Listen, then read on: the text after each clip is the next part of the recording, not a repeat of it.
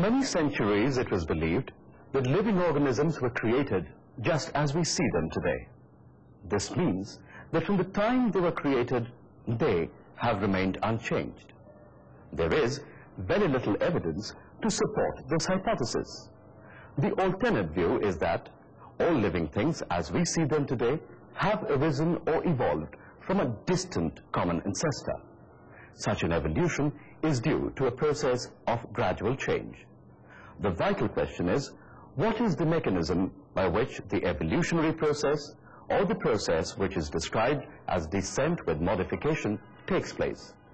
About 130 years ago, Charles Robert Darwin, by way of answering these questions, proposed the theory of natural selection. 29th of November, 1859, is an important date in the history of biology. It was the day that Darwin's great book, The Origin of Species, was published. The book was a result of over 20 years of work, which included Darwin's keen observations, interpretations, conversations and discussions with a number of naturalists, breeders and gardeners, correspondence with biologists at home and abroad, and a voyage that took him across the Pacific to Australia and then to Africa before returning to England. The book was the first one to propose a possible reason for evolution and the first one to provide significant array of evidence that evolution has occurred. To explain his theory of evolution, Darwin brought in many kinds of information. Information from heredity and variation, fossils, geological formations, geographical distribution, embryology, taxonomy and homology. The evidence he thus obtained from various sources provided the answer to the all-important question, how did evolution occur? Darwin answered it occurs through natural selection acting on heritable variations. But what is natural selection? And how is it an instrument contributing to the evolutionary process? The theory of evolution as proposed by Darwin states that all plants and animals reproduce far in excess of the numbers that actually survive, and that there is a struggle for survival. The fact that there are variations among members of the species, and that some of these variations are more advantageous than the others, decides which of the organisms should survive. It is in this context Herbert Spencer's phrase, survival of the fittest, is used to interpret Darwinism. In other words, organisms which are less fit or less well adapted will be eliminated either by the biotic or the abiotic environment. Naturally, this process of elimination of unfit individuals from the environment would result in the survival of organisms with better adaptations. Let us now elaborate the Darwinian facts and deductions a little. There is a tendency in nature for the organisms to overproduce. A codfish produces 10 million eggs in a season. An oyster may produce over 100 million eggs per spawning. A roundworm, an intestinal parasite, produces 700,000 eggs in just 24 hours. But not all of them survive. And the situation would be unimaginable if these numbers would survive and reproduce again. Darwin himself gave an example of the slowest breathing organism, the elephant.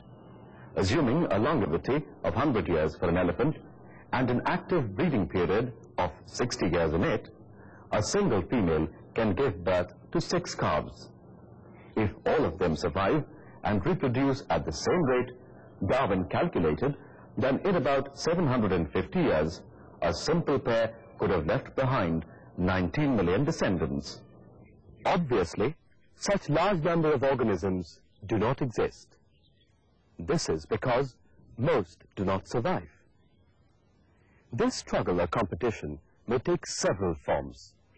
The struggle for food and territory, the struggle to overcome adverse climatic conditions such as cold or drought, and the struggle to escape the predators. Such a struggle keeps the adult population numbers more or less constant.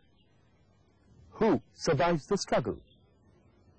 It is evident to all of us that variations among organisms are universal. With the exception of monozygotic twins, no two individuals of a given species are similar. And in many cases, the differences can be quantified. Many of these variations may be neutral or may not confer any advantage on the organism. But many other variations do influence the chances of survival of the organism in which they are present. A rabbit with thicker fur on its body may survive the winter more easily than the ones which possess less fur. A desert plant with right mechanisms for water conservation will survive better than others which do not have such mechanisms. An animal that has developed speed would escape predation efficiently, and a predator with well-developed sense organs can spot the prey easily. Such examples of demonstration of variations are numerous in nature. The outcome of such a struggle for existence is what Darwin called natural selection. There are several instances to demonstrate the action of natural selection. In natural populations, they are illustrative of the fact that selection is a continuous and ongoing process. Two such examples relate to industrial melanism in peppered moth and sickle cell anemia in man. A classic example that has been well documented in wild populations is that of peppered moths. In 19th century England, people collected moths and butterflies.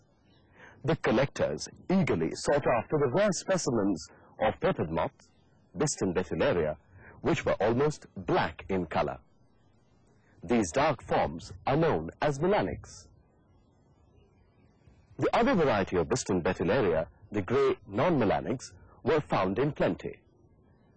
By looking at moth collections made in 100 years, biologists found that the black forms became more and more common between 1850 and 1950, and the grey non-melanics became more and more scarce, more so near the industrial areas.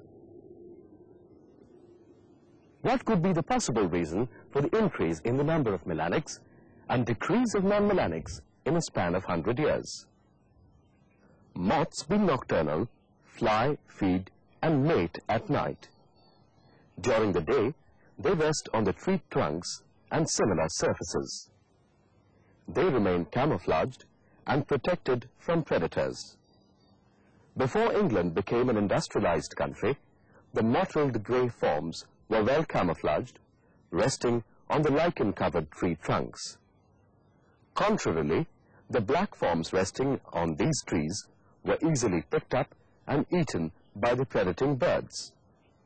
This explained why the melanics were rare prior to industrialization. With the onset of industrial revolution, there was a change in the situation. The smoke emanating from the factories contributed to pollution and in turn to the blackening of the tree trunks. On such trees, the mottled grey forms stood out in contrast to the background. The grey forms were eaten by predators in much greater numbers the evolution of darker forms of the insect in response to industrial pollution is known as industrial melanism. The phenomenon was investigated in detail by Bernard Kettlewell of the Oxford University. Kettlewell raised in his laboratory large numbers of melanic and non-melanic forms. He marked these moths and released equal numbers of them in two areas. One, an unpolluted rural area, and another, a polluted industrial area.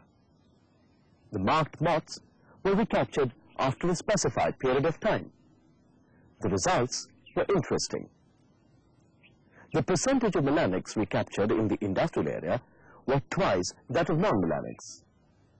Similarly, only half the number of black moths were recaptured in the unpolluted countryside as compared to the grey forms.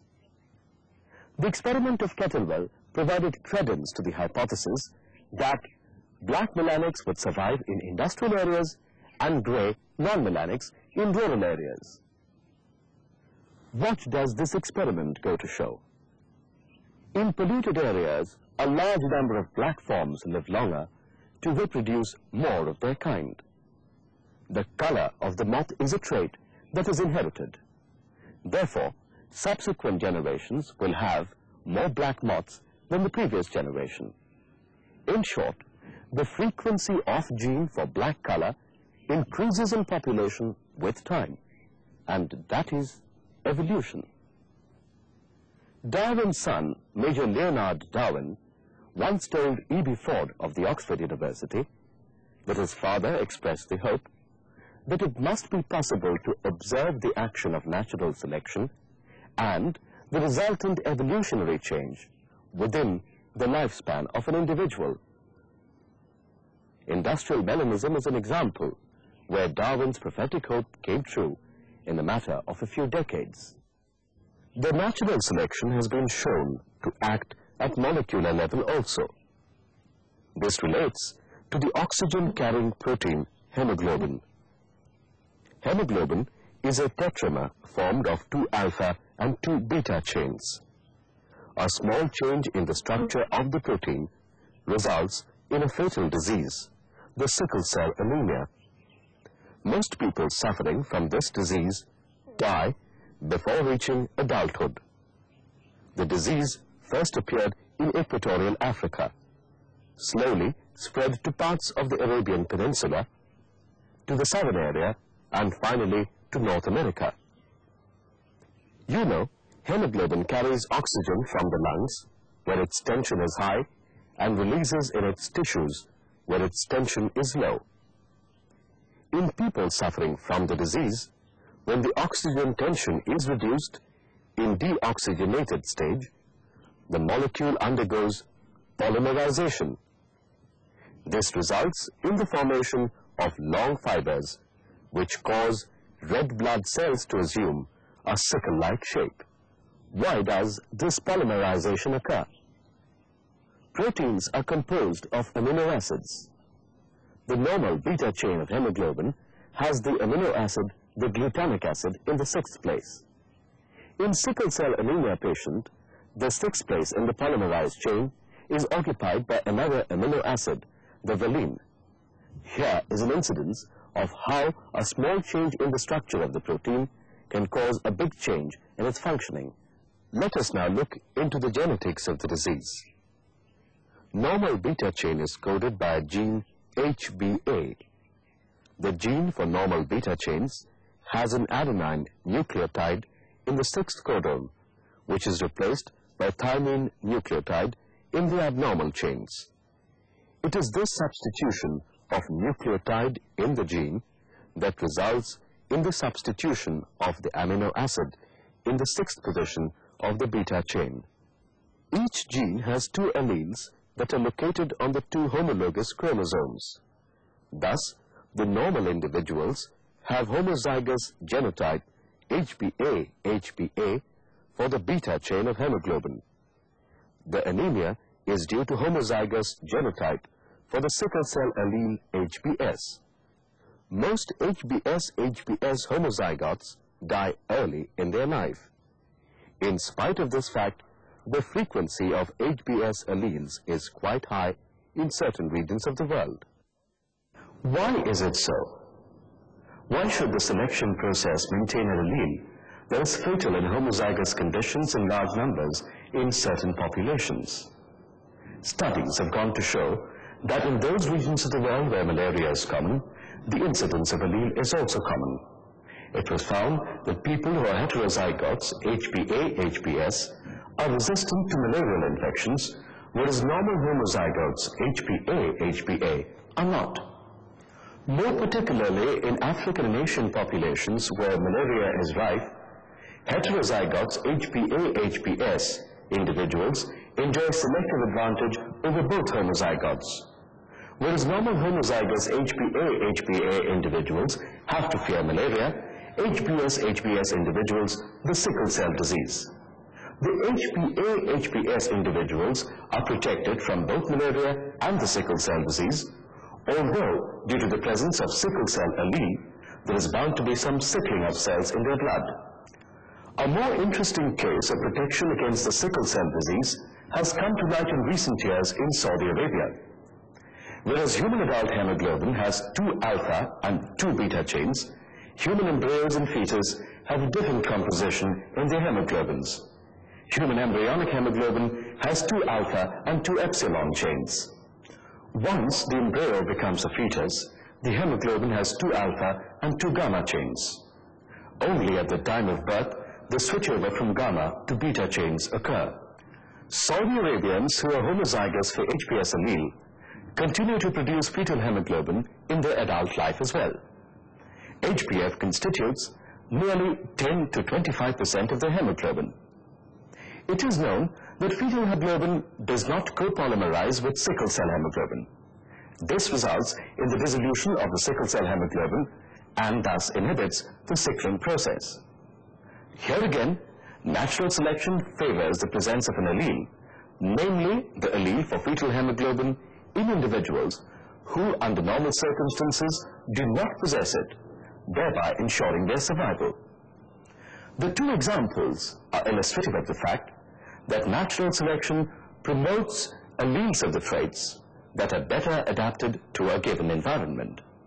In other words, genes for these adaptations spread in population and their frequencies increase.